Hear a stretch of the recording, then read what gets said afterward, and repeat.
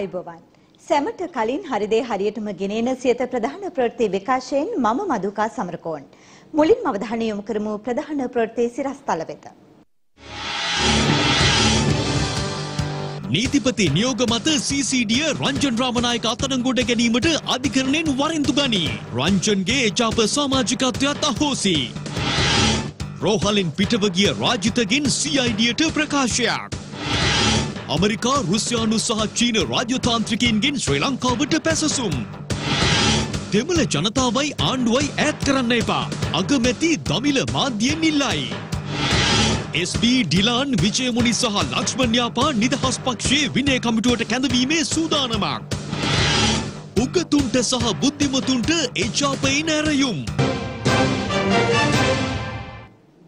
ප්‍රථමෙන් දේශීය පුවත් පසුගිය දින කිහිපයේදී දුරකථන සංවාද සම්බන්ධයෙන් චෝදනා එල්ල වූ පාර්ලිමේන්තු මන්ත්‍රී රංජන් රාමනායක මහතා අත්අඩංගුවට ගන්නා ලෙස නීතිපති දප්පුලද ලිවේරා මහතා කොළඹ අපරාධ කොට්ටාශය වෙත ලබා දුන් උපදෙස් අනුව ක්‍රියාත්මක වූ කොළඹ අපරාධ කොට්ටාශය නුගේගොඩ මහේස්ත්‍රාත් අධිකරණයෙන් මන්ත්‍රීවරයා අත්අඩංගුවට ගැනීම වෙනුවෙන් වරෙන්තුවක් ලබාගෙන තිබෙනවා.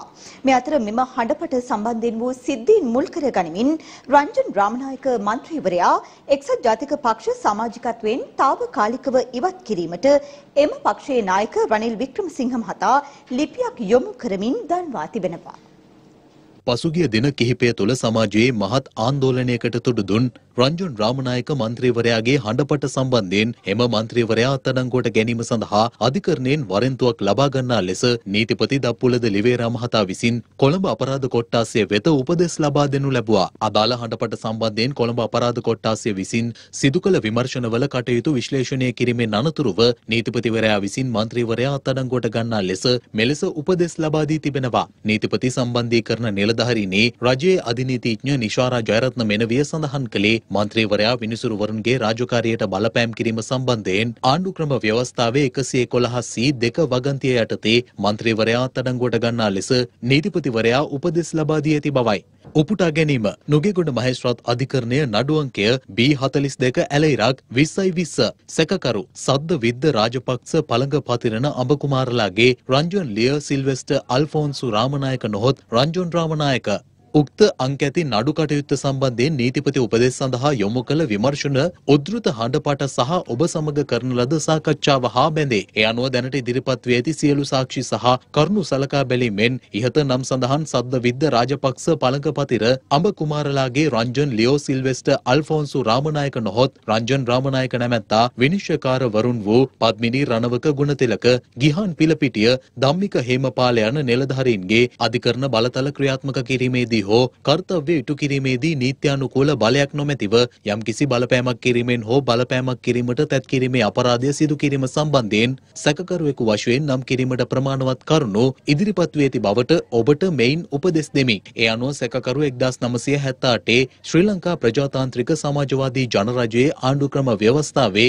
111 ඈ දෙවන ව්‍යවස්ථාව යටතේ වරදක් සිදු කර ඇති බවට කරුණු අනාවරණය වන බව මාගේ මතය වේ. උපුටා ගැනීම අවසන්. ආණ්ඩුක්‍රම ව්‍යවස්ථාවේ මෙම වගන්තිය යටතේ පුද්ගලයෙකුට එරෙහිව නීතිමය පියවර ගන්නා පළමු අවස්ථාවද මෙය බවයි රජයේ අධිනීතිඥ නිශාරා ජයරත්න මෙනවිය වැඩිදුරටත් සඳහන් කළේ. ඒ අනුව නීතිපති උපදෙස් මත වහම ක්‍රියාත්මක වූ කොළඹ අපරාධ කොට්ටාසය නුගේගොඩ මහේස්ත්‍රාත් අධිකරණයෙන් රංජන් රාමනායක මන්ත්‍රීවරයා අත්අඩංගුවට ගැනීම සඳහා අද පස්වරුවේ වරෙන්තුවක් ලබාගෙන තිබෙනවා. මේ අතර රංජන් රාමනායක මන්ත්‍රීවරයා සම්බන්ධයෙන් වූ එම හඬපට තුළින් එක්සත් ජාතික පක්ෂයට සහ පැවති එජාප රජයට ඍජු ඍජු ලෙස චෝදනා එල්ලවන බවට සඳහන් කරමින් රංජන් රාමනායක මන්ත්‍රීවරයාගේ පක්ෂ සමාජිකත්වය తాවකාලිකව අහෝසි කරන බවට වූ ලිපියක් එම පක්ෂයේ නායක රනිල් වික්‍රමසිංහ මහතාගේ අත්සනින් යුතුව රංජන් රාමනායක මන්ත්‍රීවරයා වෙත ලියාපදිංචි තැපෑලෙන් යොමු කර තිබෙනවා. උපුටා ගැනීම එක්සත් ජාතික පක්ෂයේ සමාජිකයෙකු සහ ගම්පහ දිස්ත්‍රික් පාර්ලිමේන්තු මන්ත්‍රීවරයෙකු වන ඔබ විවිධ මට්ටමේ රාජ්‍ය නිලධාරීන් අධිකරණ නිලධාරීන් පොලිස් නිලධාරීන් ඇතුළු වෙනත් අය සමග පවත්වන ලද දුර දුරකථන සංවාද පටිගත කිරීම මගින් සහ පටිගත කරන ලද එකී දුරකථන සංවාදයන් විවිධ අය හරහා විද්‍යුත් මාධ්‍යවලට සහ සමාජ ජාල වෙබ් අඩවිවලට මුදා හැරීම මගින් එක්සත් ජාතික පක්ෂය සහ පැවති එක්සත් ජාතික පක්ෂ රජය දැඩි අපහසුතාවයකට පත් කර ඇති අතර විශේෂයෙන් එකී ක්‍රියාකලාපයන් මගින් පක්ෂයේ ඉදිරි මැතිවරණ ව්‍යාපාරයට දැඩි බලපෑම් එල්ල කර ඇති බවට පක්ෂයේ මහලේකම්තුමා වෙත ඉදිරිපත්ව ඇති පැමිණිලි පිළිබඳව කරුණු සොයා බැලීමෙන් අනතුරුව එක්සත් ජාතික පක්ෂ ව්‍යවස්ථාවේ තුන හතර ඌ අගන්තිය යටතේ මා වෙත වාර්තාවක් ඉදිරිපත් කර ඇත. ඔබගේ ඉහත ක්‍රියාකලාපය මගින් ඔබ එක්සත් ජාතික පක්ෂය සහ එක්සත් ජාතික පක්ෂයේ වැඩපිළිවෙල සහ ක්‍රියාමාර්ග විවිධාකාරයෙන් විවේචනය කර ඇති අතර එමගින් ඔබ එක්සත් ජාතික පක්ෂ ව්‍යවස්ථාවේ ප්‍රතිපාදනයන් බරපතල ලෙස උල්ලංඝනය කොට ඇත. එක්සත් ජාතික පක්ෂයේ සමාජිකයෙකු සහ ගම්පහ දිස්ත්‍රික් පාර්ලිමේන්තු මන්ත්‍රීවරයෙකු වන ඔබගේ ඉහත ක්‍රියාකලාපය මගින් ඔබ එක්සත් ජාතික පක්ෂ ව්‍යවස්ථාවේ තුනයි තුන ආ තුනයි තුන ඈ තුනයි හතර ආ සහ තුනයි හතර ඊ වගන්ති උල්ලංඝනය කර ඇති අතර මීට අදාළව එක්සත් ජාතික පක්ෂයේ මහලේකම්තුමා විසින් පක්ෂ ව්‍යවස්ථාවේ තුනයි හතර ඌ වගන්තිය යටතේ ඉදිරිපත් කරන ලද වාර්තාවද මාගේ අවධානයට ලක්විය. ඔබගේ ඉහත සඳහන් ක්‍රියාකලාපය හේතු කොටගෙන තවදුරටත් පක්ෂයට හානියක් වීම සහ පක්ෂය අපහසුතාවයට පත්වීම වහාම වැළැක්විය යුතු බවට එක්සත් ජාතික පක්ෂ ව්‍යවස්ථාවේ තුනයි හතර ඌ වගන්තිය යටතේ ඔබගේ පක්ෂ සමාජිකත්වය තාවකාලිකවත් හිටුවන බවද එමත් හිටුවීම එළඹෙන කෘත්‍යාධිකාරී මණ්ඩල රැස්වීම දක්වා බලපැවැත්වෙන බවද මෙයින් ඔබ වෙත දැනුම් දෙන්නෙමි. මීට අදාළව ඔබට යම් නිදහසට කරුණු දැක්වීමක් සිදු කිරීමට ඇත්නම් මෙම ලිපිය ලැබී දින හතක කාලයක් තුළ එකී කරුණු දැක්වීම ලිඛිතව පක්ෂයේ මහලේකම්තුමා වෙත යොමු කරන ලෙස මෙයින් දැනුම් දෙමි. රනිල් වික්‍රමසිංහ නායක එක්සත් ජාතික පක්ෂය. මේ අතර පාර්ලිමේන්තු මන්ත්‍රී රංජන් රාමනායක මන්ත්‍රීවරයාගේ පක්ෂ සමාජිකත්වය අහෝසි කිරීම සම්බන්ධයෙන් අද සිරිකොත පක්ෂ මූලස්ථානයේ පැවති මාධ්‍ය හමුවකදී එම පක්ෂයේ මහලේකම් අකිල විරාජ්කාරියව සම්මහතා මෙලෙස අදහස් පළ කළා. පක්ෂයට ලැබුණු විවිධ පැමිණිලි සියල්ල සැලකිල්ලට අරගෙන පක්ෂය විසින් පක්ෂ නායකතුමාට ඒ පිළිබඳව දැනුම් දීමෙන් පසුව තුමා තීරණය කරනු ලැබුවා රංජන් රාමනායක මැතිතුමාගේ පක්ෂ සමාජිකත්වය තාවකාලිකව තහනම් කරන්නත් ඒ වගේම පක්ෂ කෘත්‍යාධිකාරී මණ්ඩලයට ඉදිරිපත් කරලා එය අනුමත කරගන්නත් තීරණය කරනු ලැබුවා. පසුගිය කාලේ ඔහුගේ ක්‍රියාකලාපයේ මගින් ඇති වූ සිද්ධි ගණනාවක් හේතුවෙන් විශේෂයෙන්ම අධිකරණ නිලධාරීන් රාජ්‍ය නිලධාරීන් බොහෝ අයට සිදුවී ඇති තත්ත්වය මත එවැගේම බුද්ධඝම පිළිබඳව කරපු විවිධ ප්‍රකාශ සම්බන්ධෙනුත් ඒ සියල්ල සැලකිල්ලට අරගෙන තමයි එතුමාගේ පක්ෂ සමාජිකත්වය තාවකාලිකව අත්හිටවන්න තීරණය කරනු ලැබුවා. ඊට පස්සේ අදාළ නීති කටයුතු සිද්ධ වෙනවා මම එක්කම ඉතින් තව මාසෙ එකමාරක් යන ඉස්සෙල්ලා පාර්ලිමේන්තුව විසිරෙනවා. එතකොට කොහොමත් මේ മന്ത്രി ධූරියත් අවසන් වෙනවා.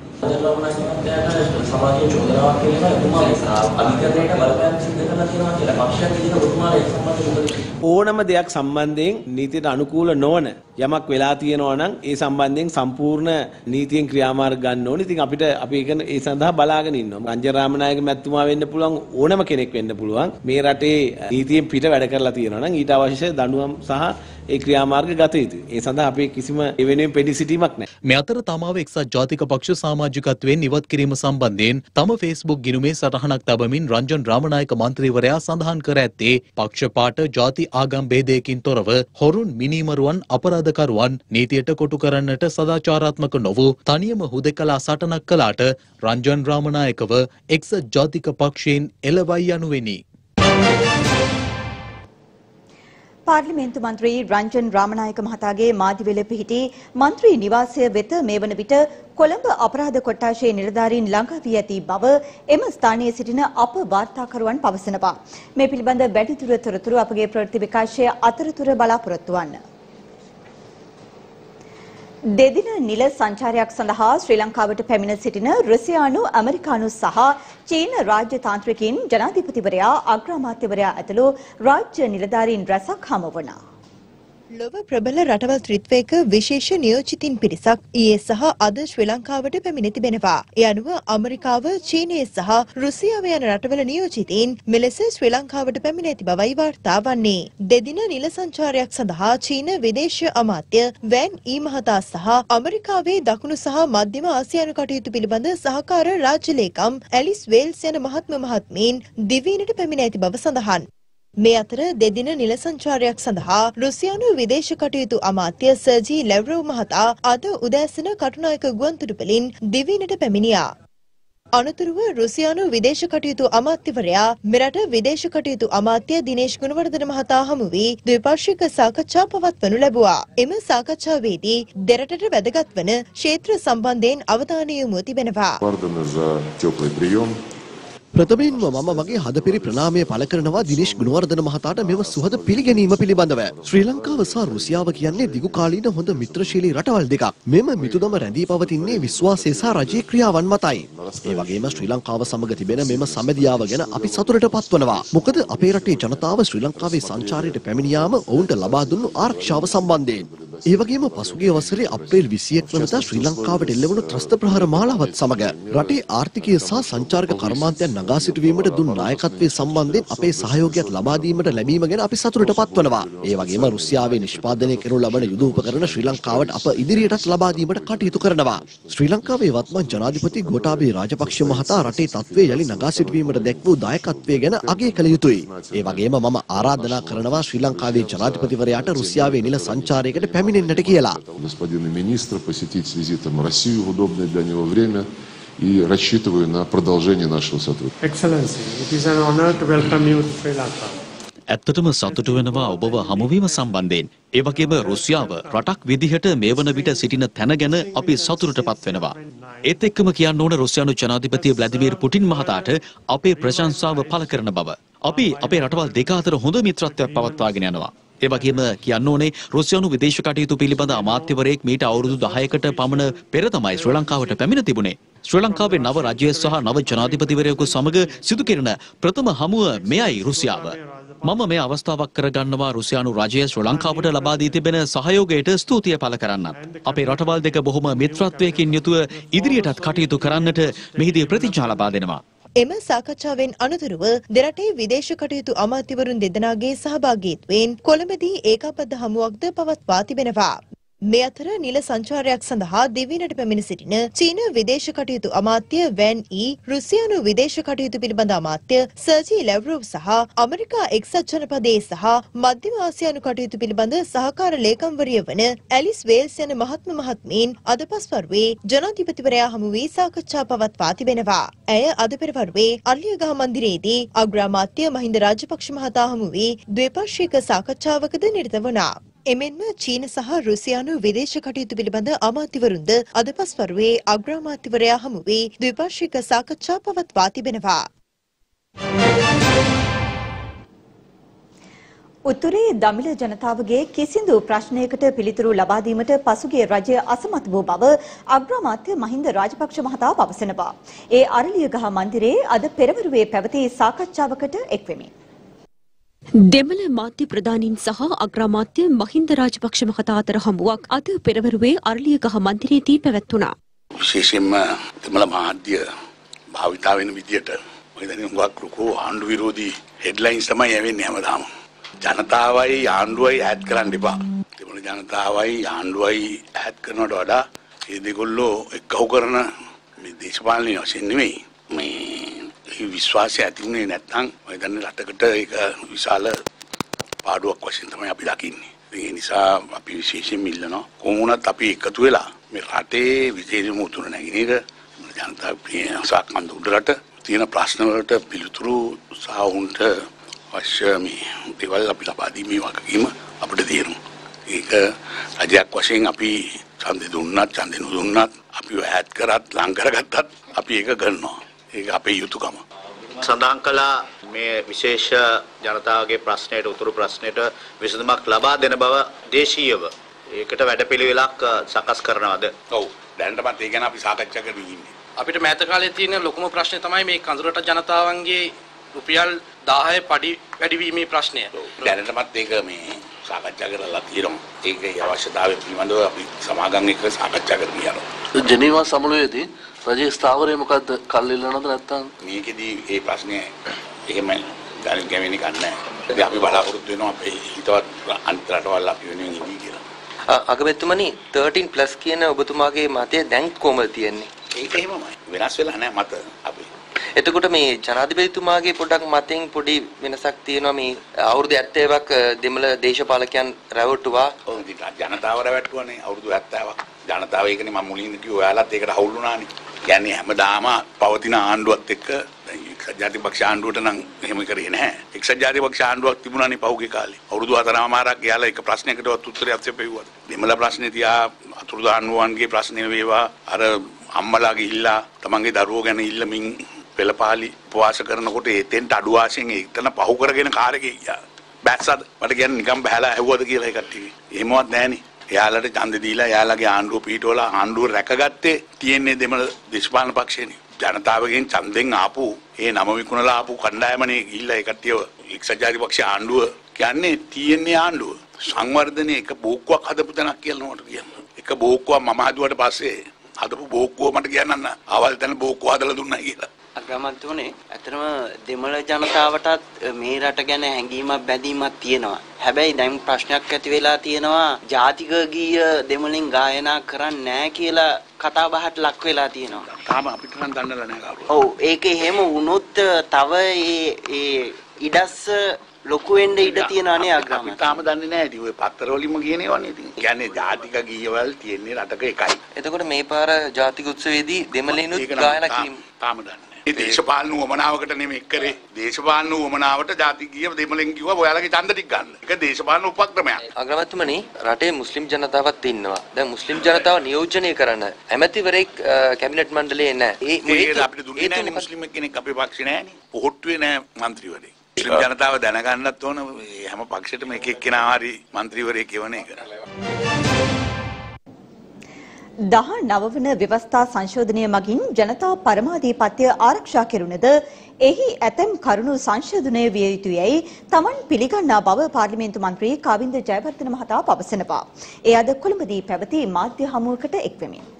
රටේ මතයක් ගොඩනගනවා 19 වෙනි සංශෝධනය වෙනස් විය යුතුයි කියන කාරණේ. හැබැයි 18 වෙනි සංශෝධනය යටතේ මේ රටේ ජනතාවගේ පරමාධිපත්‍යයේ අයිතියට මොනතරම් මරු පහරක් එල්ල කරාද කියලා 18 වෙනි සංශෝධනය ක්‍රියාත්මක කිරීම සහ ඒක අනුමත කිරීම ඔස්සේ. හැබැයි මම එක කාරණයක් පිළිගන්නවා 19 වෙනි සංශෝධනය 100% සර්ව සම්පූර්ණ සාධාරණ සංශෝධනයක් නෙමෙයි කියන කාරණේ. හැබැයි කල්පනා කරලා බලන්න දින 58 විවස්ථාමය ගැටලුව ආව වෙලාවේදී 19 වෙනි සංශෝධනයේ ඔස්සේ තමයි ජනාධිපතිවරයාට ඔහුගේ හිතුමතේට පාර්ලිමේන්තුව විසුරවන්න බැරි තත්ත්වයටපත් උනේ. නැත්තම් මේ රටේ පරමාධිපත්‍යයේ අයිතිය තියෙන්නේ මේ රටේ ජනතාවට. ඉතින් අපි දන්නවා නියමිත කාලය යන්න හිටපු ජනාධිපති මහින්ද රාජපක්ෂ මහත්තයාට පුළුවන්කමක් ලැබුණේ නැහැ. ඒ නිසා නියමිත කාලයටත් අවුරුදු දෙකකට ඉස්සෙල්ලා තමයි එතුමාට ඡන්දෙට යන්න සිද්ධ වුණේ. මේ තුනෙන් දෙකේ බලය තියාගෙනත් මේ රට සංවර්ධනය කරන්නේ නැතුව. එහෙනම් අපි දන්නවා තුනෙන් දෙකේ බලය ඉල්ලන්නේ කිසිම දෙයකට නෙමෙයි මේ රටේ ජනතාව නැවත වරක් මුලා කරන්න. මේ තක්කඩි දේශපාලනය ඉදිරියට ගෙනියන්න තමයි මේ තුනෙන් දෙකේ බලයක් ඉල්ලන්නේ. මේ පාර්ලිමේන්තු මැතිවරණයේත් ජනාධිපතිවරණේ මුලා කෙරුවා වගේම මුලා කරන්නයි හදන්නේ කියන එක තමයි මට මේ අවස්ථාවේදී කියන්න තියෙන්නේ. රට ස්ථාවර කරන නව ආණ්ඩුක්‍රම ව්‍යවස්ථාවක් ස්ථාපිත කිරීම සඳහා අවශ්‍ය පාර්ලිමේන්තුවේ තුනෙන් දෙකේ බලය ලබා දීමට කටයුතු කරන ලෙස පාර්ලිමේන්තු මන්ත්‍රී උදය ගම්මන්පිල මහතා පවසනවා. එය අද කොළඹදී පැවති මාධ්‍ය හමුවකදී. අපි රටේ ජනතාවගෙන් ඉල්ලා සිටින්නේ සමානුපාතික ක්‍රමයේ යටතේ ප්‍රථම වතාවට අපිට තුනෙන් දෙක ජනවරමක් ලබා දෙන්න. ඒ තුනෙන් දෙකේ ජනවරම අපි ඉල්ලන්නේ මේ රට එකතැන පල් කරන මෞබිමේ සංවර්ධනයට දැවැන්තම බාධාව බවට පත් වෙලා තියෙන රට අස්ථාවර කරන වත්මන් ආණ්ඩුක්‍රම ව්‍යවස්ථාව වෙනුවට රට ස්ථාවර කරන නැවුම් ව්‍යවස්ථාවක් හඳුන්වා දෙන්න. එය අපිට කරන්න පුළුවන් වෙන්නේ අන්තවාදීන් බෙදුම්වාදීන්ගෙන් කප්පන් නොදී ඔවුන්ගේ ඉල්ලීම් වලට ඇහුම්කන් නොදී බිහි කළ හැකි ආණ්ඩුක්‍රම ව්‍යවස්ථාව බිහි කිරීමට අවශ්‍ය තුනෙන් දෙකේ බහුතර බලය ලබා දුන්නොත් පමණයි. ඉතින් මෙවර එක්සත් ජාතික පක්ෂය අතිශයින්ම දුර්වල තැනක තියෙන පක්ෂ දෙකඩ වෙලා තියෙන්නේ. ඉතින් කවුරු නායකත්වයේ හිටියත් පක්ෂය ඉදිරියට යන්නේ මේ බෙදීම නිසා කාගේ නායකත්වයෙන් පාර්ලිමේන්තු මැතිවරණයට ඉදිරිපත් වුණත් එජාපයේ බෙදුම් රේඛාව අර බිඳුරු වීදුරුවක ඉර වගේ පැහැදිලිව තිබේවි. ඒ නිසා මම හිතන්නේ අපිට මෙවර තුනෙන් දෙකේ ඉලක්කය කරා යෑමට හැකියාව තියෙනවා. දින 18ක් පමණ නාරාහෙන් පිට පෞද්ගලික රෝහලක ප්‍රතිකාර ලැබමින් සිටි පාර්ලිමේන්තු මන්ත්‍රී රාජිත සේනාරත්න මහතා එම රෝහලෙන් පිටව ගොස් තිබෙනවා. අපරාධ පරීක්ෂණ දෙපාර්තමේන්තුවට අද දහවල් පැමිණි රාජිත සේනාරත්න මහතාගෙන් එම දෙපාර්තමේන්තුවේ නිලධාරීන් පැය 4ක් පමණ ප්‍රකාශ සටහන් කරගනු ලැබුවා. හදිසි රෝගී තත්වයක් මත කොළඹ නාරාහෙන් පිට පෞද්ගලික රෝහලක නිවාසිකව ප්‍රතිකාර ලබමින් සිටි හිටපු සෞඛ්‍ය අමාත්‍ය පාර්ලිමේන්තු මන්ත්‍රී රාජිත සේනාරත්න මහතා දින 18කට පසුව අද අලුයම 12:25ට පමණ එම රෝහලින් පිටව ගොස් තිබෙනවා.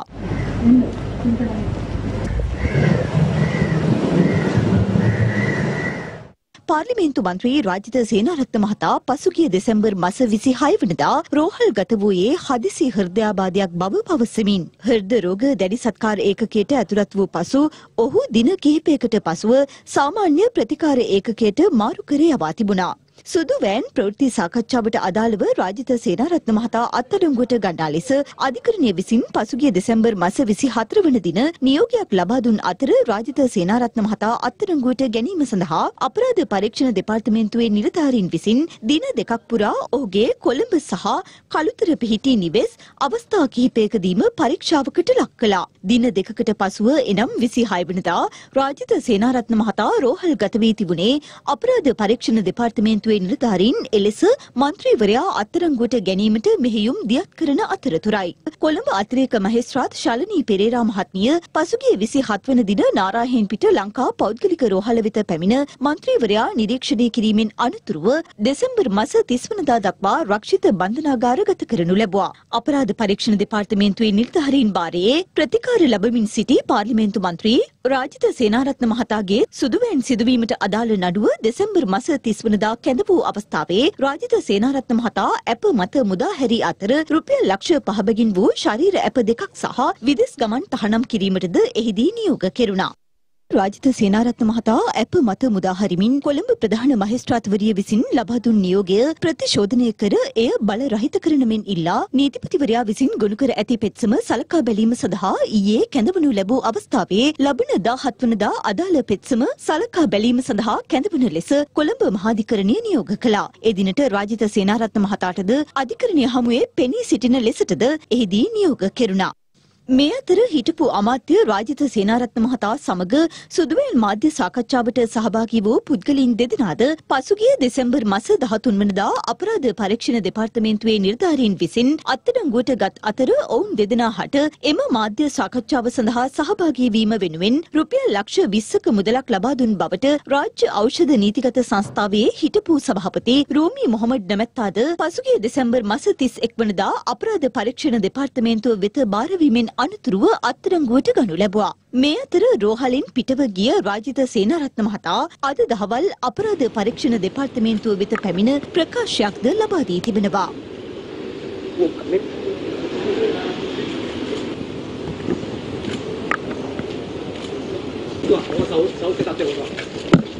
පස්සේ කියන්න. පස්සේ කියන්නේ ඔයගොල්ලෝ කියලා දුන්නේ සෞඛ්‍ය තත්ත්වය මම මාධ්‍ය මග හරලා යන්නේ. මාධ්‍ය මාධ්‍ය නැවතුවා ඊට 12ට ගිය ඔබතුමායි. මාධ්‍යයට කතා කරන්න කුණු මාධ්‍යෙ. ඒක නම් අපි හරදා කළා නැවතුවා. මම වාන සද්දානේ. සද්දේ ගන්න. ආල් සද්දාන්නේ. අපි සද්දාන්නේ නැහැ. ඉතින් ගහන්නේ නැහැ කැමරාවට.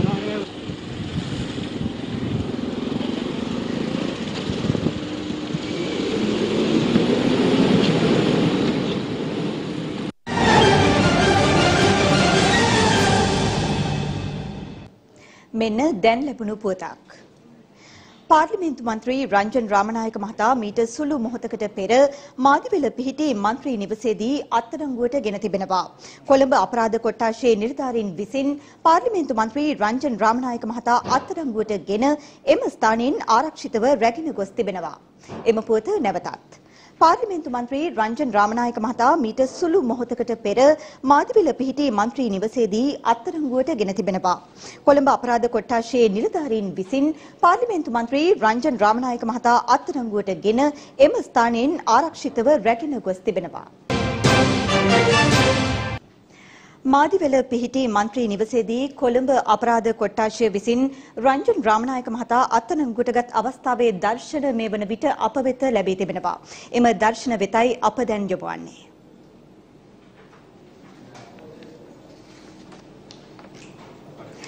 අද පස්වරුවේ නීතිපති දප්පුලද ලිවේරා මහතා කොළඹ අපරාධ කොට්ටාශයට දැනුම් දුන්නා රංජන් රාමනායක මන්ත්‍රීවරයා අත්අඩංගුවට ගැනීමට වරන්තුවක් ලබා ගන්නා ලෙසට ඒ අනුව නුගේගොඩ මහේස්ත්‍රාත්වරයාගෙන් වරන්තුවක් ලබාගත් කොළඹ අපරාධ කොට්ටාශයේ නිලධාරීන් මාදිවෙල මන්ත්‍රීවරයාගේ නිවස වෙත පැමිණ මන්ත්‍රීවරයා මෙලෙස අත්අඩංගුවට ගනු ලැබුවා.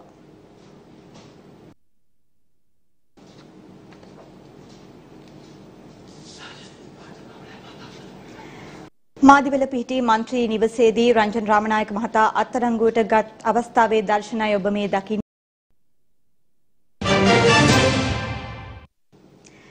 ශ්‍රී ලංකා නිදහස් පක්ෂය විසින් පාර්ලිමේන්තු මන්ත්‍රීවරුන් සිව් දෙනෙකුට එරෙහිව ලබන 18 වනදා අවසන් නීතිමය ක්‍රියාමාර්ගයට ගැනීමට කටයුතු කරන බව එම පක්ෂයේ මහලේකම් රාජ්‍ය අමාත්‍ය දයසිරි ජයසේකර මහතා පවසනවා.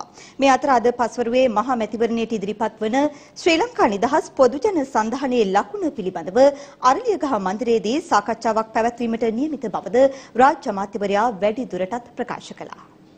දේශපාලන පක්ෂයක් ලෙස මම හිතන්නේ අවුරුදු ගණනාවකට පස්සේ ශ්‍රී ලංකා නිදහස් පක්ෂය ආචාර ධර්ම පද්ධතියක් තමන්ගේ මන්ත්‍රීවරුන්ට ඉදිරිපත් කළා. එය අත්සන් කළා. එය පිළි අරගෙන පක්ෂයට බැඳීම සහ පක්ෂයේ ඉදිරි ක්‍රියාකාරකම් වලට යෙදීම අනිවාර්ය කාරණයක් බවට පත් වෙනවා. ඒ ආචාර ධර්ම පද්ධතිය කඩ කරන ඕනෑම මන්ත්‍රීවරයෙකුට විරුද්ධව පැහැදිලිව විනයානුකූල ක්‍රියාමාර්ග ගැනීම සඳහා මධ්‍යම කාරක සභාවත් ඒ වගේම දේශපාලන මණ්ඩලයත් ක්‍රියා කරනවා ඇති අනාගතයේදී දහටවින්ද එයට විරුද්ධව තියෙන අවසන් නීතිමය ක්‍රියාමාර්ග ටික ගන්නවා. ඒ අනුව අවශ්‍ය නීතිමය කටයුතු නැත්නම් විනය කටයුතු ක්‍රියාත්මක කරන්න බලාපොරොත්තු වෙනවා. ඒකේ හතර දෙනෙක් ඉන්නවා පාර්ලිමේන්තු මන්ත්‍රීවරු. එස්.පී. සානායක මැතිතුමා, ඩිලන් පෙරේරා මැතිතුමා, විජිත් විජයමුනි සොයිසා මැතිතුමා, ලක්ෂ්මන් න්‍යාපා බේරදෙන මැතිතුමා. අදට තවත් ප්‍රාය සභා මන්ත්‍රීවරු ගණනාවක් ඒක ඇතුළේ ඉන්නවා. අත්සන් කරපු ගිවිසුම තුල අපි එක සන්දානයක කටයුතු කරන්න තමයි බලාපොරොත්තු වෙන්නේ. මතයක් තිබුණා පොජන පෙරමුණේ ලාංඡනය වන පොහොට්ටුව ලකුණ අපේ සන්දානයට ඇතුළත් කරගත යුතුයි කිය. ඉතින් එහෙම වුණොත් පොජන සන්දානයට ලාංඡනයක් නැතුව යන. පොහොට්ටුව ගෙනාපුවාම පොජන පෙරමුණට පොහොට්ටුවක් නැතුව යන. ඒක අපේ ප්‍රශ්නයක් නෙමෙයි. ඒක එතුමන්ලා තීරණය කරන්න ඕනේ කාරණයක්. අපිට ඒක ගැන ගැටලුවක් නැහැ. ඉතින් මම හිතන්නේ අවබෝධයක් ඇතුව අපි වැඩ කරනවා. විශේෂයෙන්ම අධිකරු ජනාධිපතිතුමාත් ගරු අග්‍රාමාත්‍යතුමාත් ඒ වගේම අපේ පක්ෂේ නායක මෛත්‍රීපාල සිරිසේන අධිකරු ජනාධිපතිතුමා එකතු වෙලා අපි සාකච්ඡා කරලා ඒ වගේම අනිකුත් පක්ෂ නායකනුත් එක්කත් සාකච්ඡා කරලා මේ ලකුණු පිළිබඳ ප්‍රශ්නය निराකරණය කරගන්න බලාපොරොත්තු වෙනවා. එකතු වෙලා වැඩ කරන්න පුළුවන් ගැන කිසි ගැටලුවක් නැහැ. ඒක ක්‍රියාත්මක. අපි යට වෙන්න ඕනෙත් නැහැ. අපි යට කරන්න දෙන්න විදියකුත් නැහැ. මේ දෙකම අපි ආරක්ෂා කරගත යුතුයි. සන්දාන වලදී මෙච්චර කාලයක් ශ්‍රී ලංකා නිදහස් පක්ෂය තමයි ප්‍රධාන පක්ෂ බවට පත් වෙලා තිබුණේ. අපේ කටියට මේක පුරුදු නැහැ. ඉතින් අපි දැන් පුරුදු වෙන්න ඕනේ ප්‍රධාන පක්ෂයේ ප්‍රශ්නත් එක්ක ගැටෙමින් එකට එකතු වෙමින් රට වෙනුවෙන් එක සන්ධානයකට එකතු වෙන්න. සාකච්ඡා අද තියෙන්නේ අපේ අර්ලිගහ මන්දිරේ. උගතුන් බුද්ධිමතුන් වෘත්තිකයන් හට එක්සත් ජාතික පක්ෂයේ ඉදිරි මැතිවරණය සඳහා ඉදිරිපත් වීමට එක්වන ලෙසට එම පක්ෂයේ මහලේකම් පාර්ලිමේන්තු මන්ත්‍රී අකිල විරාජ් කාර්යවසම් මහතා අද විවෘත ආරාධනාවක් සිදු කළා. ඒ සිරිකොත පක්ෂ මූලස්ථානයේ පැවති මාධ්‍ය හමුවකට එක්වෙමි.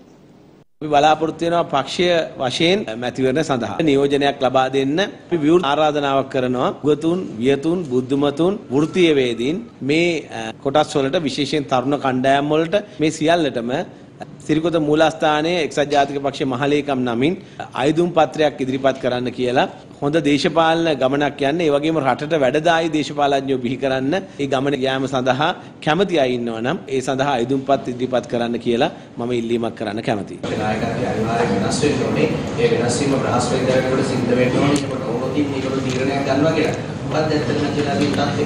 විවිධ අදහස් තියෙනවා වෙන්න පුළුවන්. ගොඩක් වෙලාවට බ්‍රහස්පන්ද මේ ගැන සාකච්ඡා කරන්න තීරණය කරලා තියෙනවා. ඊට පස්සේ එදා හෝ ඊට ඉදිරි දිනයකදී අවසන් තීරණය ගන්න පුළුවන්. එක්සත් ජාතික පක්ෂය නමින් හෝ එහෙම නැත්නම් ගොඩක් වෙලාවට ඔක්කොම එකකතාවය මත ගන්න තීරණයක් මත තමයි තාම මේක තීරණය කරලා නැහැ අත් වශයෙන්ම කෘත්‍යාධිකාරීවල. සමගියෙන් ගියොත් අපිට වෙන්නේ හොඳක් නෙමෙයි. හැබැයි අපි සමගියෙන් ගියොත් අපිට මේ දේශපාලන බලය ගන්න පුළුවන්කම තියෙනවා. එක්සත් ජාතික පක්ෂය තුළ සිටින ඇතැම් පිරිස් එම පක්ෂය විනාශ කිරීමේ ක්‍රියාදාමයක නියැලී සිටින බව රාජ්‍ය අමාත්‍ය තිලංක සුමතිපාල මහතා පවසනවා. රාජ්‍ය අමාත්‍යවරයා මේ බව පැවසුවේ අද කොළඹදී පැවති මාධ්‍ය හමුවකට එක්වෙමින්. එක්සත් ජාතික පක්ෂ විතින් එක්සත් ජාතික පක්ෂය විනාශ කිරීමේ ක්‍රියාදාමයක ඉන්නවා. ඉතින් අපිට එළියෙන් ඉඳන් ඒක දිහා බලන් ඉන්න විතර අවශ්‍ය. දැන් කණ්ඩායම් තුනක් ඉන්න බව පැහැදිලි. හිටපු අගමැතිතුමා පක්ෂ ናයකයා කියලා ප්‍රකාශයට පත් කරලා තියෙනවා. ජනාධිපති අපේක්ෂකතුමා විපක්ෂ නායක ධූරයේ ඉන්නවා කියලා ප්‍රකාශ කරලා තියෙනවා. සන්දානයක් හදලා ඒ සන්දානයේ කතානායකතුමා නායකත්ව දෙනවා කියලා ප්‍රකාශ කරලා තියෙනවා කියලා දැනගන්න ලැබිලා තියෙනවා. ඉතින් ඒක අභ්‍යන්තර ප්‍රශ්නයක්. ඉතින් එතන දැන් ලිප්ගල් තුනක් තියෙනවා කොටස් තුනක මේකේ කණ්ඩායම් තුනක් ඉන්න බව පැහැදිලි. පැහැදිලි තනි දර්ශනයක් ඇති නායකත්වයක් නැහැ කියලා එක්සත් ජාතික පක්ෂයට දැන් රටට පෙන්ලා තිනවා. අපි දැන් තුරට කැඩලා කියලා ප්‍රකාශ කරලා තිනවා.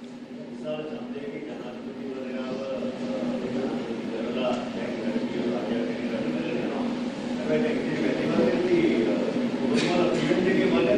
මේ රටේ ප්‍රධාන කරුණු කිහිපයක් තියෙනවා. තිවරණ ක්‍රමය. ඒ වගේම දැන් 19 වෙනි සංශෝධනය පිටින් ආපු ඒ ප්‍රජාතන්ත්‍රවාදී රටක ප්‍රජාතන්ත්‍රවාදය ස්ථාපිත කරන්න කියලා ආපු 19 වෙනි සංශෝධනය උස්සල පොලේ ගහලා තියෙනවා දැන්. අධිකරණ පද්ධතිය විශ්වාසය සම්පූර්ණයෙන්ම මේ රටේ නැති කරලා තියෙනවා. ව්‍යවස්ථාදායකය තුල ඉඳන් සම්පූර්ණම අධිකරණයට ඇඟිලි ගහලා ස්වාධීන කොමිෂන් වල තිබුණු සියලු අයට මැදිහත්වීම වෙලා පොලිස්පතිතුමාට පොලිසියට එතකොට ගරු අධිකරණයට ඒ වගේම ඒ කොමිෂන් වලින් පත් කරන විශේෂයෙන්ම අල්ලස් හෝ දූෂණ කොමිෂමේ ඉන්න නිලධාරීන්ට යනාදී වශයෙන් ස්වාධීන කොමිෂන් නමයක් පත් කරපු 19 වෙනි ව්‍යවස්ථා සංශෝධනයේ විශ්වාසයේ පළුදු වෙලා ප්‍රජාතන්ත්‍රවාදයේ උස්සලා පොලේ ගහලා. එතකොට මේ 19 වෙනි සංශෝධනයේ මේ රටේ ජනතාව උත්සාහ කරපු විශ්වාස කරපු ඒ ප්‍රජාතන්ත්‍රවාදී රටක අවශ්‍යම අත්‍යවශ්‍ය කරුණු වලට අපේ විශ්වාසය පළුදු කරගත්තා නම් ඒ වෙනස් කිරීම සඳහා සඳහා අපිට ව්‍යවස්ථා වෙනසක් සිදු විය යුතුයි. ඒ ව්‍යවස්ථා වෙනස කරන්න නම් තුනෙන් දෙකේ බලයක් අවශ්‍යයි. පසුගිය රජය මගින් රාජ්‍ය සේවකින් සඳහා ලබා දුන් වැටුප් වර්ධකය වත්මන් ආණ්ඩුව මෙතෙක් ලබා දී නොමැති බව ජාතික වෘත්තීය සමිති පෙරමුණේ සභාපති සමන් රත්නප්‍රිය මහතා පවසනවා. ඒ මහතා මේ බව ප්‍රකාශ කළේ අද කොළඹදී පැවති මාධ්‍ය හමුවකදී. මේ නිවේදනය හරි පැහැදිලිවම මොන මොන ශේෂ්ත්‍රයන්ද වැටුප් පැඩෙන කියන කාර්යය සඳහන් කරලා තියෙනවා. දැන් ජනවාරි මාසේ පළවෙනිදා ඉඳන් මේ කැබිනට් මණ්ඩල තීන්දුව ක්‍රියාත්මක වෙන්න ඕනේ. වැටුප් පැඩවීම සිද්ධ වෙනවා සාමාන්‍ය 15ම වැටුප් ලබන කම්කරුවෙකුට රුපියල් 3000කට ආසන්න ප්‍රමාණයකින් වැටුප් පැඩි වෙනවා. මූලික වැටුප මේ කියන්නේ. ලිපිකරුවෙකුට වැඩි වෙන රුපියල් 4320ක්. ඒ වගේම හෙද නිලධාරීන්ට රුපියල් 5335ක්. ආරම්භක වෛද්‍යවරයෙකුට වැඩි වෙන රුපියල් 11095ක්. කන්සල්ටන්ට් කෙනෙකුට විශාල වැටුප් වැඩිවීම තියෙන මේ. ස්ථිර ලේකම් කෙනෙකුට වැඩි වෙනවා රුපියල් 23975ක්. මේ වැටුප් වැඩිවීම අනුමත කරා. නමුත් අපිට මේක ක්‍රියාත්මක වෙන ස්වභාවයක් දකින්න නැහැ. ක්‍රියාත්මක වෙනවා නම් දැන් මුදල් අමාත්‍යාංශයෙන් මේකට අදාළ චක්‍රලේඛයන් නිකුත් කරන්න ඕන. එහෙම නැත්නම් රාජ්‍ය පරිපාලන අමාත්‍යාංශයෙන් මේකට අදාළ චක්‍රලේඛයන් නිකුත් කරන්න ඕන. ඉතින් මේ චක්‍රලේඛය නිකුත් කරන්න නම් ජනාධිපතිවරයෝ අගමැතිවරයෝ ආණ්ඩුව මේක ක්‍රියාත්මක කරන්න කියලා වාචික නියෝගයක් දෙනවා නම් මේක වහාම ක්‍රියාත්මක වෙනවා. ඉතින් අපිට පේන්නේ එහෙම නියෝගයක් ලැබිලා නැහැ. ඒක නිසා මුදල් අමාත්‍යාංශ ලේකම්වරයා සහ රාජ්‍ය පරිපාලන අමාත්‍යාංශ ලේකම්වරයා මේ චක්‍රලේඛය නිකුත් නොකර ඉන්නවා. ක්‍රියාත්මක නොකරනවා නම් නොවෙනවා නම් ඒකට සාධාරණ හේතු දැක්වීමක් අඩු ගන්න කරන්න ඕනේ. වත්මන් ආණ්ඩුවේ සියලු දෙනා ගෝඨාභය රාජපක්ෂ මහතාගේ ප්‍රතිපත්ති අනුගමනය කරමින් මෙරට සංවර්ධන කටයුතු ඉදිරියට රැගෙන යන බව අමාත්‍ය ජොන්ස්ටන් ප්‍රනාන්දු මහතා පවසනවා. ඒ කුරුණෑගල ප්‍රදේශයේදී මාධ්‍ය වෙත අදහස් දක්වමින් මධ්‍යම අධිවේගී මාර්ගයේ මේරික මහා වදාගඩ ප්‍රදේශයේ සිදු කෙරෙන ඉදිකිරීම් පිළිබඳ සොයා බැලීම සඳහා අමාත්‍ය ජොන්ස්ටන් ප්‍රනාන්දු මහතා අද එම ප්‍රදේශයේ නිරීක්ෂණ චාරිකාවකට එක් වුණා. මීරිකම ඉඳලා කඩවත දක්වා මාර්ගය අවුරුදු හතරමාරක් තිස්සේ රජය ආරම්භ කරන්නේ නැතුව බොහොම කල් මරලා වැඩ කටයුතු කරලා තියෙනවා. මේවනේ හොරා කන්න ගිහිල්ලා තමයි පහුගිය ආණ්ඩුවට මේ වැඩ ඉවර කරන්න බැරි වුණේ. ඔවුන්ට තිබ්බ අධිභාග්‍ය මාර්ගය හදන එක නෙමෙයි අධිවේග මාර්ගෙන් හොරකම් කරන්න පුළුවන් ද කියලා බලන්නේ. අපේ ප්‍රතිපත්තිය තමයි වැඩ කරන රටක්, සංවර්ධිත රටක්, ආර්ථිකය දියුණු වෙච්ච රටක්, ජනතාව සුරක්ෂිත කරන ආරක්ෂක රටක් ඇති කිරීම තමයි ගෝඨාභය රාජපක්ෂ ජනාධිපතිතුමාගේ ප්‍රතිපත්තිය. ඒ ප්‍රතිපත්තියෙන් තමයි අපි වැඩ කටයුතු. අපි මූලිකත්වය දෙන්නේ වැඩ කරන්න. අපි ඔවුන් කරපු දේවල් කරන්න නෙමෙයි අපි ශ්‍රේ ලබා ගන්න. වරකාපොළ දොරවක ප්‍රදේශයේ අද අලුයම සිදු වූ වෙඩි තැබීමකින් තරුණියක් ජීවිතක්ෂයට පත්ව තිබෙනවා. අදාළුයම පහයි තිහට පමණ සිදු වූ වෙඩිතැබීමකින් ගනේ ගම දොරවක ප්‍රදේශයේ පදිංචි විසි දෙහවරදි තරුණයක ජීවිතක්ෂයට පත් වුණා.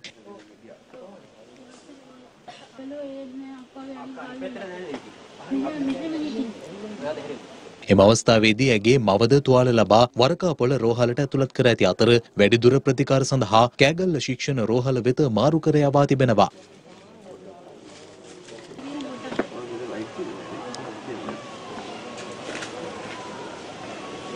ප්‍රේම සම්බඳතාවක් හේතුවෙන් මෙම වෙඩි තැබීම සිදු කරන්නට ඇති බවයි වරකාපොළ පොලිසිය සැකපල කරන්නේ. එම සැකකරු සොයා මේ වන විට වරකාපොළ පොලිසිය විමර්ශන ආරම්භ කර තිබෙනවා. වෙඩි තැබීමෙන් තුවාල ලැබූ කාන්තාව ශල්‍ය කර්මයකට ලක් කර ඇති බවයි රෝහල් ආරංචි මාර්ග සඳහන් කළේ. දැන් අවධානය අධිකරණයෙන් වාර්තා වූ පුවත් කිහිපයක් වෙතයි. ඉකුත්තා කොළඹ විශ්වවිද්‍යාලය ඇති වූ ගැටුම්කාරී සිද්ධිය සම්බන්ධයෙන් අත්අඩංගුවටගෙන රක්ෂිත බන්ධනාගාර ගත කර සිටි විශ්වවිද්‍යාලයේ සිසුන් 12 දෙනා අපමත මුදාහරණ ලෙස කොළඹ ප්‍රධාන මහේස්ත්‍රාත් ලංකා ජයරත්න මෙනවිය නියම කළා. ඒ අනුව එක් එක් සැකකරු රුපියල් ලක්ෂ දෙක බැගින් වූ ශරීර අපමත මුදාහරණ ලෙස නියම කළ මහේස්ත්‍රාත්වරිය සාමය කඩවන ආකාරයෙන් කටයුතු කිරීමෙන් වළකින ලෙසද තරයේ අවවාද කළා. එමෙන්ම සාක්ෂිකරුවන්ට බලපෑම් කිරීමෙන් වළකින ලෙසත් එවැනි බලපෑමක් සිදු කළ බවට පැමිණිලි ලැබුණහොත් අප අවලංගු කර නඩු විභාගය අවසන් වනතුරු රක්ෂිත බන්ධනාගාර ගත කරන බවයි මහේස්ත්‍රාත්වරිය මෙහිදී සැකකරුවන්ට අවවාද කළේ. නඩුව අද කැඳවනු ලැබූ අවස්ථාවේදී පොලිසිය විසින් පහර දීම හේතුවෙන් තුවාල ලැබූ ශිෂ්‍යාව පිළිබඳ වෛද්‍ය වාර්තාව අධිකරණයට ඉදිරිපත් කළා. එම වෛද්‍ය වාර්තාව තුළින් සුළු තුවාල පමණක් දක්නට ලැබෙන බවයි අධිකරණය හමුවේ කරුණු වාර්තා කර තිබුණේ. ඉදිරිපත් වූ කරුණු සලකා බැලූ මහේස්ත්‍රාත්වරිය සැකකරුවන් අපමත මුදාහැරීමට නියම කළ අතර වැඩිදුර නඩු විභාගයේ පෙබරවාරි මාස 24 වනදා කැඳවීමටද නියම කළා. අධිකරණයට අපහාස කළ බවට චෝදනා කරමින් මහාචාර්ය සරත් විජේසූරිය මහතාට එරෙහිව ගොනු කර තිබූ පැමිණිල්ලට අදාළ විරෝධතා පෙබරවාරි මාස 17 වනදා ඉදිරිපත් කිරීමට පියවර ගන්නා ලෙස අභ්‍යර්ථනාධිකරණය වගඋත්තරකාර පාර්ශවයට නියම කළා. මෙම පැමිණිල්ල අද කුමුදුනි වික්‍රමසිංහ සහ ප්‍රියන්ත ප්‍රනන්දු යන මහත්ම මහත්මින්ගෙන් සමන්විත අභ්‍යර්ථනාධිකරණ විනිසුරු මඩුල්ල හමුවේ කැඳවනු ලැබුවා. එහිදී විනිසුරු මඩුල්ල වගඋත්තරකාර සරත් විජේසූරිය මහතාගේ පාර්ශවයට නියම කළේ මෙම පැමිණිල්ලට අදාළ විරෝධතා තිබේ නම් ඒවා පෙබරවාරි මාස 17 වනදා ඉදිරිපත් කිරීමට පියවර ගන්නා ලෙසයි. මෙම පැමිණිලි ඉදිරිපත් කර තිබුණේ නීතිඥවරයෙකු වන සම්පත් විජිත කුමාර සහ විශ්‍රාමික යුද හමුදා නිලධාරියෙකු වන අනිල් අල්විස් යන අය විසින්. නීත්‍යානුකූල නොවන අයුරින් හමුදාව හැරගිය ත්‍රිවිධ හමුදා සමාජිකින් හට සේවයෙන් ඉවත්වීමට හෝ නැවත සේවය ආරම්භ කිරීමට දින 7ක පොදු සමාකාලයක් ලබා දීමට රජය තීරණය කර තිබෙනවා. ඒ අනුව පසුගිය වසරේ සැප්තැම්බර් 30 වන දිනට පෙර සේවය හැරගිය සමාජිකින් සඳහා 2020 පෙබරවාරි 5 වන දින සිට දින 7ක පොදු සමාකාලයක් හිමි වනු ඇති. මේ අතර අනවසර ගිනි අවි රජය වෙත බාර දීමේ වැඩසටහන යටතේ බලපත්‍ර නොමැතිව භාවිතා කරනු ලබන හෝ සන්තකයේ තබාගෙන සිටින ගිනි අවි රජයට බාර දීම සඳහා සහන කාලයක් ලබා දී තිබෙනවා. පෙබරවාරි 5 12 අතර එම ගිනි අවි ප්‍රාදේශීය පොලිස් ස්ථාන වෙත සන්තකයේ දරන්නන් විසින් බාර දෙන ලෙසයි ආරක්ෂක අමාත්‍යාංශය දැනුම් දෙන්නේ. මධ්‍යම චීනයේ මහා මාර්ගයක සිදු වූ ගිලා බැසීමක් හේතුවෙන් පුද්ගලයන් 6 දෙනෙකු ජීවිතක්ෂයට පත්ව තවත් පුද්ගලයන් 16 දෙනෙකු තුවාල ලබා තිබෙනවා. අදාළ ගිලා බැසීම හේතුවෙන් එම ස්ථානයේ අසලින් ධාවනය වූ බස් රථයක් සහ එහි රැඳී සිටි පදකීන්ද අදාළ ගිලා බැසීම හමුවේ හටගත් කුහරයට වැටී ඇති බවයි විදෙස් මාධ්‍ය වාර්තා කළේ. කුහරය තුළට වැටුණු පිරිස් බේරා ගැනීම වෙනුවෙන් අසල සිටි පිරිස් සහයට පැමිණ ඇති අතර අදාළ කුහරේ පුළුල් වීමත් සමග එම පිරිසද කුහරය වෙත ඇද වැටී තිබෙනවා. හිමපතනයත් සමග ලෝපුරා සංචාරකින් රැසක් චීනයේ වයඹතික ප්‍රදේශයේ ශින්ජියන් ප්‍රදේශයේ වෙත ඒකරාශී වෙමින් හිම සැනකිලි පවත්වන බව විදෙස් මාධ්‍ය වාර්තා කළා. සංස්කෘතික ජනප්‍රසංග හා විනෝදාත්මක ක්‍රීඩාවලින් සමන්විත මෙම හිම සැනකෙළියේදී එම ප්‍රදේශයේ දීවර ජනතාව විසින් මසුන්ගෙන් සැකසූ විවිධ ආහාර පාන වර්ගවල රස බැලීමටද සංචාරකීන් හට අවස්ථාව ලබා දී තිබෙනවා. මෙම උත්සවය මාස දෙකක කාලයක් පුරා පැවැත්වෙන බවයි විදෙස් මාධ්‍ය වාර්තා සඳහන් කළේ. එම පුවතත් සමගින් සියත ප්‍රධාන ප්‍රවෘත්ති විකාශය නිමාවට පත්වනවා සුබ සන්ධ්‍යාවක්. දිනපතා අලුත් වීඩියෝ සහ ප්‍රවෘත්ති නැරඹීමට ඉහත බටන එක ක්ලික් කර සියත TV සබස්ක්‍රයිබ් කරන්න.